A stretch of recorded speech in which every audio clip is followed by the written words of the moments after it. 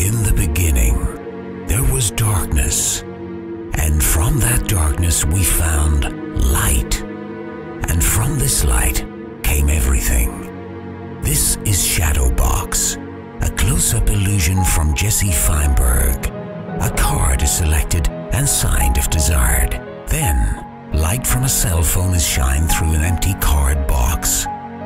After a dazzling display of light, your finger is dipped into the box its shadow is clearly seen.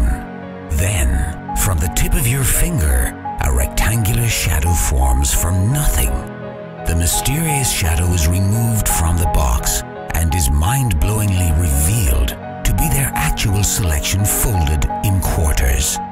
A visual and impromptu close up illusion for any skill level with multiple handlings thought.